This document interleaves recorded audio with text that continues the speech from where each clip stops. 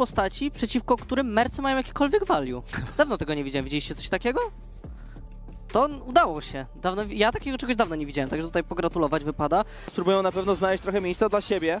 Wydaje mi się, że jednak Iron Wolves może być bardziej skuteczny po drugiej stronie mapy Sylvan. No wiesz co, ta teleportacja może być spóźniona, mimo że zagrał swoją umiejętność W, pozwalającą mu ciut dłużej poczuć się bezpiecznym. To Zresztą, co nie zmienia faktu, że to jest dużo letality. O! No, dla Pięknie rozbicie beczki od Jauna Tisa. Czy chce się tutaj w ogóle pojawić? Nie, nie, to jest dobre dla Forsaken. Chyba nie powinni tu walczyć, A Kromax jednak to próbują! Ta teleportacja może być za O nie, późna, Gotye mu jeszcze Landerka, aczkolwiek Braga zuza po prostu swoją beczkę w powietrze. Problem jednak, jednak taki, że tracisz już w tym momencie supporta. Zora dołącza dość opóźniony. Nikolaj nie znajdzie jak na razie resetu. Za ściany Heshero, co on w ogóle chce się tutaj pić? No Iron Wolves jakby zachęcony do tej walki, ale nie może znaleźć nic więcej, a wie, że na topie nie wzięta. Realnie największy błąd popełnia tutaj maturalnie Forsaken, tym bardziej, że Nikolaj wystawia się na pośmiewisko i jednocześnie na zgon. Sylvan, no i po prostu strollowali. Mało tego, jeszcze Zora będzie wyłapany, jeszcze jeden autoatak. No, czy ja wiem, Merka odpalona pod wieżą Heshero cały czas y, to tankuje. No ale czy można iść tak małe te paski po stronie Iron Wolves tam ruchami po łapie? Tak tutaj nie wiedzieli za bardzo chyba co chcą osiągnąć. E, swoją E? drogą City solo killował Ribu. Ale teraz zobaczmy, bo zupełnie jakby gra nam przyspieszyła, wiesz, na początku była spokojna, ale teraz Nikolaj nagle wyłapuje przeciwnego Idikery, Yashiro jednak musi sobie, o, nieważne, no z Braumy możesz kajtować, co więcej teleportacja od Heshero, żeby wyłapać Gociego. Ta wieża na przykład na środkowej alejce, o, dobra, zatrzymajmy się być może, bo Zora otrzymuje Zora naprawdę pada. niezwykle pańsko.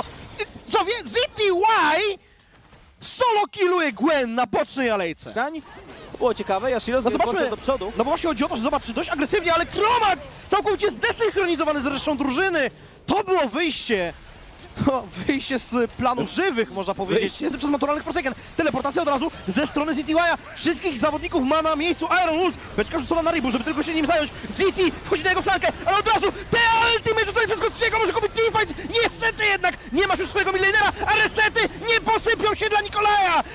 Iron Wolves zwycięża na naturalnych Forsaken. Zdali oni ten test piątkowo. Nie było lepszej sytuacji na zdobycie pierwszej eliminacji niż ten teamfight. On wyszedł tak świetnie dla maturalnych Forsaken, ale jego pokłosie będzie dla nich absolutnie śmiertelne. To jest 13-0 od Iron Wolves. Oni nawet nie potrzebują tego Silva, no oni po prostu pójdą w kierunku bazy oponenta. Ta dusza była za mocna. Forsaken dostało tyle czasu na ziemię, ile im się wydarzyło, ale w kluczowym momencie po prostu nie dowieźli. Mecha to naprawdę zaskakujący mecz od Iron Wolves.